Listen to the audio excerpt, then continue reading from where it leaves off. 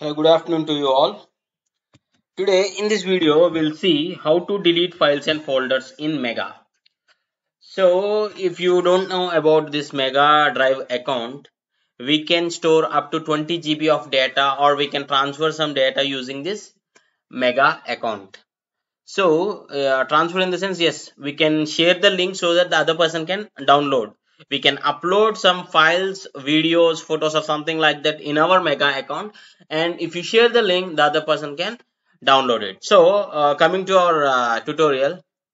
If you want to delete few of the files on mega account so just browse through mega.com mega.nz uh, on your chrome just browse through mega limited yes. See it will ask you for the login. You just need to click on login.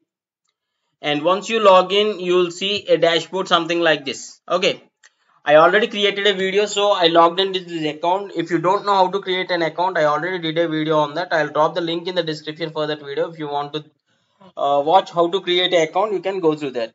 To delete files you need to click on drive here.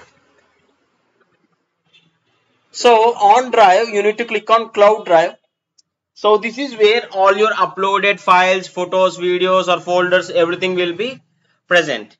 So in the folder, if you want to delete any file, you just need to click on these three dots. See here at the right side, you find these three dots and click on move to rubbish. So see here.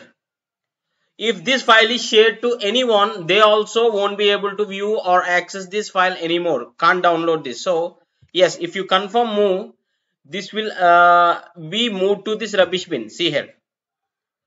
And if you want to delete it permanently from here also then you need to click on delete and click on permanently delete.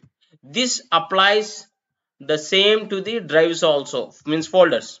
You can click on these three dots click on move to rubbish bin and you need to confirm and do the action at the rubbish bin also so this is how you can delete files and folders on mega. If you like this video tutorial please do hit a like and thanks for watching. Have a nice day